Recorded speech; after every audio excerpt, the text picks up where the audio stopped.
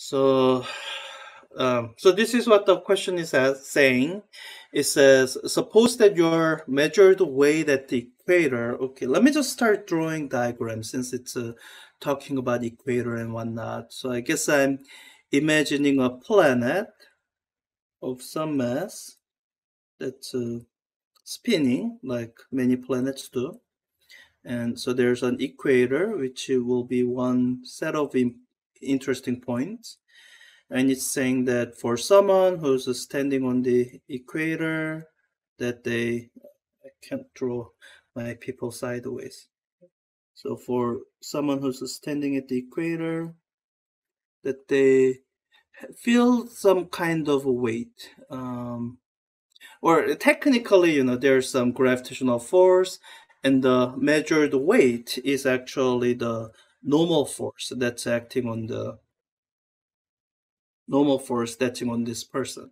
So your measured weight uh, at the equator. Um, so this equator is equal to the weight measured at the pole uh, one half divided by two. That's what it's claiming. So for the similar person up here, um, so there's still gravitational force pulling this person inward, and there's going to be a normal force um, uh, supporting the person up. And um, on a planet whose mass and the diameter or radius, uh, I mean, that, that they're equal to those of Earth. It's asking what is the rotational period of the planet. Okay, yeah, uh, assume that this plane is somewhat approximately spherical.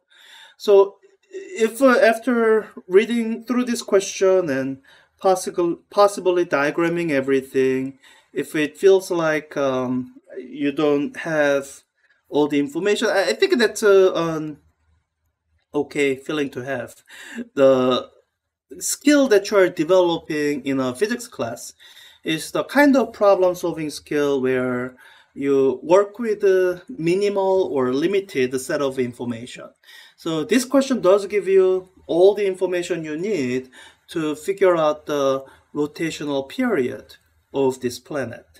But um, until you build up your physics problem solving skill, it can be difficult to, to see that it does. Um, so let me just uh, start out with um, kind of the starting place because uh, the question is telling us two different points where you are examining the forces. So I think it, uh, um, I feel like it would be useful to examine those um, locations in some detail. Try to figure out what information comparing those two places, pole and equator, are giving us. So the picture at the pole is the simplest picture. When you're looking at this picture, well, um, so you have your free body diagram of the person, gravity pulling the person down, normal force supporting the person up, and I feel like the in this picture acceleration is zero. The person is just resting on the pole, not going anywhere rotating this way, but that doesn't really involve any acceleration up or down. So uh, we can quickly conclude, oh, so this normal force at the pole should just be the weight, uh, uh, the gravitational force on that person. So, okay, so that's where we are starting. And since the normal force on the equator is different from the normal force at the pole by the way it's worded in the question. So something different must be going on with this picture. So let me draw the free body diagram and I'm just for my own sanity, I'm gonna just throw it right side up. so for the person at the equator, there's gonna be a gravity pulling the person down. And I guess I'm drawing this normal force at the equator so it's a half of that or it's gonna be the half of the gravitational force. So I don't see any reason for the gravitational force to change. So it'll be the same force because it's still approximately spherical, same distance from center, no reason for it to change. So as I'm looking at it, I'm seeing that okay, so the person is accelerating downward, and I'm trying to think through is that um, physically reasonable picture to have for someone who's standing still at the equator. And I hope after not too long of thinking of it, you come to realize, oh, this is describing a uniform circular motion. So there is going to be centripetal acceleration. So this centripetal acceleration will be given by v squared, the kind of the rotational speed of the person, divided by r, the radius at which the person is spinning, the equatorial radius. So this is the key realization you need to uh, to make a progress in this question. That um, this uh, difference in the this difference in the uh, force is going to be tied to the downward acceleration, and that you can tie it to the, the centripetal acceleration. So uh, so let me just uh, write out some cleaned up version of expression. So um, my net force, the downward net force is going to be uh, Fg minus half of Fg. So that's going to be still half of Fg. And that will be the uh, mass of the person times V squared over R. Uh, let me write out Fg in terms of parameters that involve this mass. So in hopes of um, in hopes of simplifying uh, some of the expressions. So Fg should be m times g. Um, so this g, let me put a prime on it to caution you that this may not be the uh, oh, you know what? It is going to be since the planet's mass and diameter are equal to those on Earth, and just looking at this picture, I think that is going to be the same G on Earth. So to the extent that you may need the value of G, I think we can still use G is equal to 9.8 meter per second squared because I have this location at the pole. So with that, but having written this out, I can cancel out the M so I don't need to know the mass of the person. It's a little bit of a relief. So I'm working with uh, uh oh one unknown because I don't uh, I know the radius uh, of this planet, radius of Earth. It's even given here. So the um, so the and since uh, we are assuming the mass of the planet is same as Earth, that's what leads to us being able to use this still. So it comes down to okay, I don't know V, and this V is not the same thing as the period of uh, rotation. So I need to just uh, come up with some expression that relates to this uh, um, rotational, the tangential velocity at the surface of the uh, planet with its rotational period. So I think through okay, um, V, that's speed, which is given by distance or time. Mm. So for someone also on the surface here, so let's use time of a period since that's what we are getting at.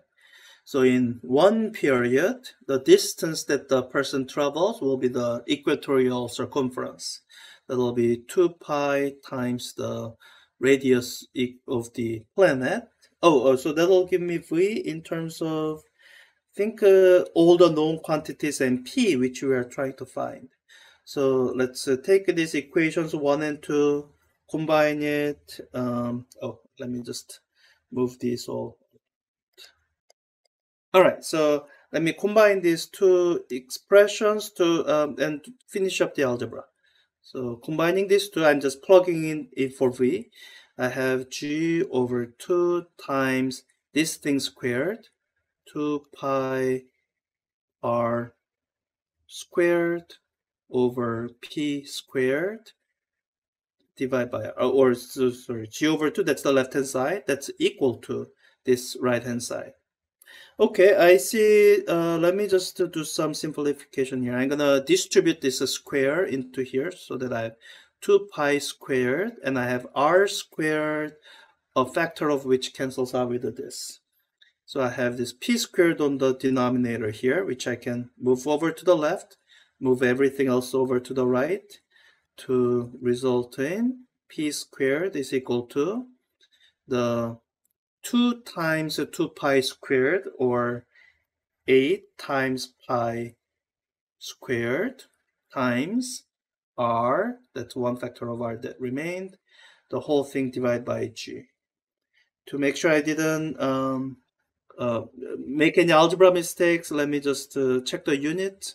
I have a meter on the numerator, meter per second squared on the denominator from g, meters cancel. Uh, so second squared on my numerator, which matches with the period squared. Okay. So, so yeah, I think that's uh, almost it. I just need to take the square root um, to get rid of that square. So I think I have all the numbers to plug in. I mean, plug in the numbers and get the period in um, in, in the unit of seconds. So just gonna type in my expressions here. So 8 times pi, oops, 8 times pi squared times the radius of Earth, 6.37 times 10 to the power of 6 in basic SI units, um, divided by 9.8 meter per second squared. So that's the quantity under the square root. Let me take the square root. I have a period of 7,000 uh, and 7,164 seconds. Hmm.